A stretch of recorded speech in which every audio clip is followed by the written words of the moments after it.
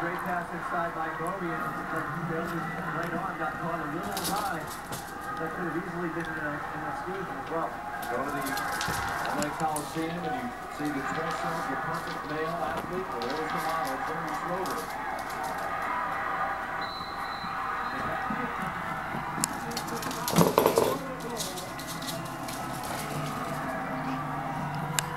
That is kind of a spark plug. Hans Shadong, he's only 5'11", 185 pounds. And at the cap right now, the United States trying to counterattack, and they're missing high repeatedly. And Smith over the crossbar. The second period, China has had the edge in play. Team USA leading 3-1, but been a little sloppy here in the second. U.S. has missed the cage on a number of opportunities. They got at least put it on cage